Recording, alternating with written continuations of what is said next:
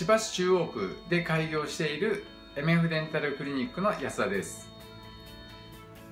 今回はインプラント治療後手術後ですねの注意注意すべきことというのでお話ししようと思います。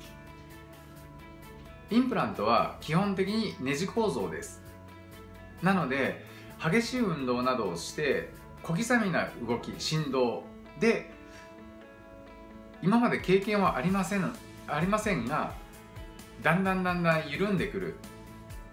逆逆回転してネジが取れてしまってくる。という話は聞いたことがあります。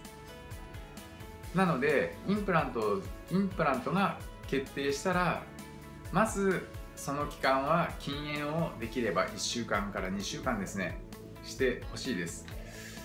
で激しい運動。は控えてほしいというのが希望です。やはりうーんご本人の協力なしでは